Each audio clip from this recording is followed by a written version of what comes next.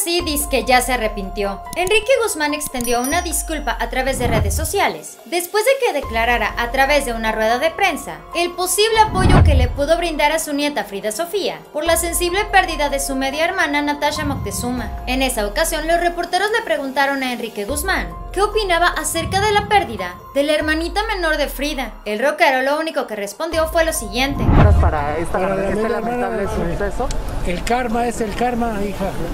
Durante esta presentación del elenco de la obra de teatro Jesucristo Superestrella, tras varios intentos para que el intérprete de payasito contestara algo sobre el caso que sostiene con su nieta Frida Sofía, se le cuestionó si él había apoyado a su nieta con la pérdida de su media hermana. Él simplemente respondió el karma es karma. Rápidamente el comentario de Enrique Guzmán generó disgusto entre la comunidad de redes sociales en diferentes plataformas. Los internautas aseguraron que esa contestación fue muy triste, que no era posible que el rockero se expresara de esa manera en un hecho tan delicado. Los señalamientos y malas palabras en contra de Enrique no se hicieron esperar. Al notar el efecto que causó, el padre de Alejandra Guzmán ofreció una disculpa a través de su cuenta de Twitter, escribiendo lo siguiente: El llamar karma a la situación situación que existe entre mi nieta y yo no es la indicada.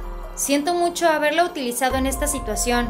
Con sus palabras, el también actor dividió por completo la opinión de los usuarios en dicha plataforma. Mientras muchos reconocieron que efectivamente Enrique Guzmán se había equivocado al responder de tal manera, otros dijeron que había surgido la verdadera personalidad del rockero. Algunas respuestas por parte de los internautas dicen así.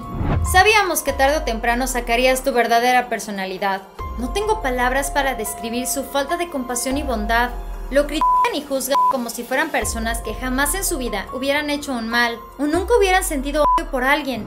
Se supone que tiene que ratificar su acusación y no lo ha hecho. Durante esta misma conferencia de prensa, Enrique Guzmán dijo que al día de hoy él se siente bastante tranquilo porque su nieta no ha ratificado su querella legal. No ratifica nada, entonces mientras ella no ratifique yo, no, yo estoy tranquilo, no pasa nada.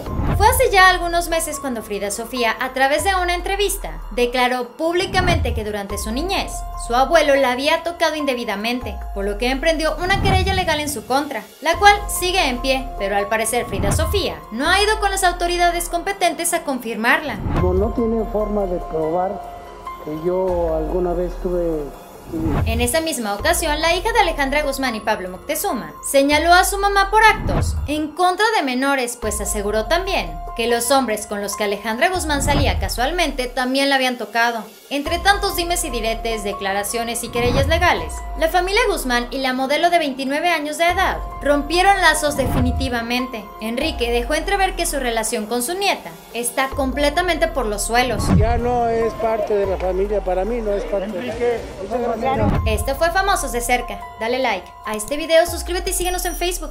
Espero que tengas un excelente día. Nos vemos muy pronto. Bye.